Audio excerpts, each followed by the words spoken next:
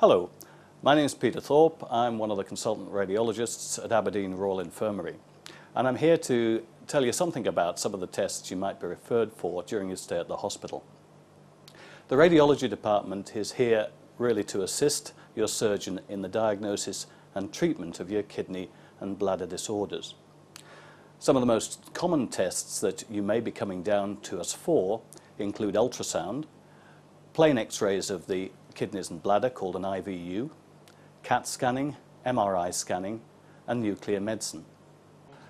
Ultrasound uses high frequency sound to examine the solid organs within the abdomen. It's a test that's usually performed either by a doctor or a specially trained radiographer called an ultrasonographer. The test is very straightforward and involves spreading some jelly over the surface of your skin and rubbing a smooth probe over the abdomen uh, to generate pictures that can then be interpreted. An IVU, or intravenous urogram, is a plain X-ray of the kidneys and bladder. As these structures don't show very clearly on ordinary X-rays, it's necessary for us to give you an injection of some dye that shows the kidneys and the bladder up more clearly. Interventional radiology is the specialty of using keyhole treatment or surgery under ultrasound or X-ray guidance to treat or investigate your kidneys and bladder.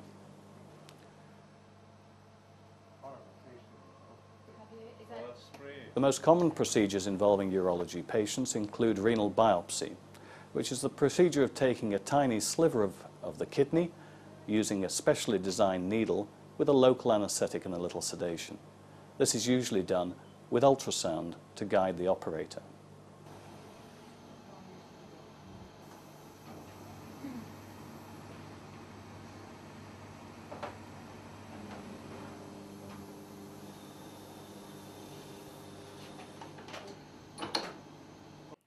CAT or computerized tomography scanning also uses radiation and may use the same dye as we've talked about previously. On this test, you'll be asked to lie on a mobile bed that will then slide through a ring of X-ray cameras which take pictures as, you, as, as the bed moves. Because we're taking pictures from many different angles of the body, the, a computer can then reconstruct uh, slices of the body from head to toe. This gives us far more information on the kidneys and other organs within the abdomen and on the bladder and prostate. Magnetic resonance imaging, or MRI, doesn't use X-rays, but depends on the presence of a very strong magnetic field, again to create slices of the body so that the organs can be examined in detail. It provides slightly different information to that that we get from a CT scan, so you may find that you're referred for both investigations. Although the dangers of radiation are completely removed when, uh, with an MRI scan, there are dangers from the strong magnetic field, and it's particularly important if you have any implanted electronic devices, such as pacemakers or bladder stimulators, that you tell the doctor about these if he's considering an MRI scan. Also important are any metallic objects that are in your body, be it from operations, accidents, or from your work. And we get particularly concerned about welders or construction workers who may have metallic fragments within their eyes. Again, if any of this is relevant to you, then you must tell the radiographer before the scan starts. The MRI scanner, again, is a ring structure that a bed moves through, but it is more enclosed than a CT scanner, and some patients have problems with claustrophobia. If you know you suffer from claustrophobia, then it's possible to look at the equipment before your scan if you contact the MRI department. And if necessary, we can arrange for you to have some sedation while you're having your scan. During your MRI scan, which takes longer than a CT scan, typically 20 to 30 minutes, as opposed to a matter of seconds, you may be given an injection of some dye. This is different from the dye given in, in uh, plain X-rays and in CT scanning and doesn't involve iodine.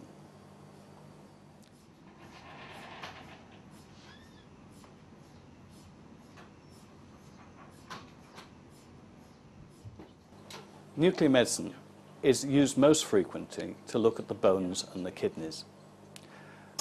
These tests give your doctor specific information about how these structures are functioning. The tests involve an injection of low-level radioactive material that passes through to either the kidneys or the bones, and then you sit or stand next to a camera which collects information used to construct the pictures. Just come quite close. Close your eyes.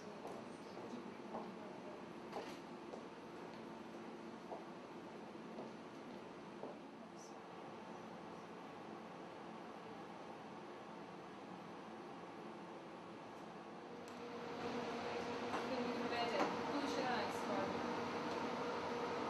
Go on that right light.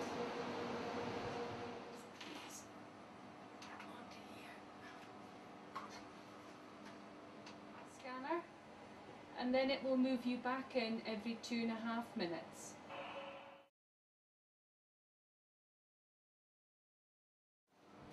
It's a big groan. Okay, Andrew, take me out now.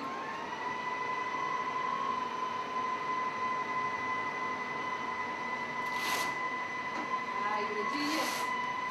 You okay? You're up high, so don't jump. It's just coming down. It's coming down. Don't jump. Go for it. Don't shoot with my patient's head vision. I have to cough when I get off of it. Get rid of this.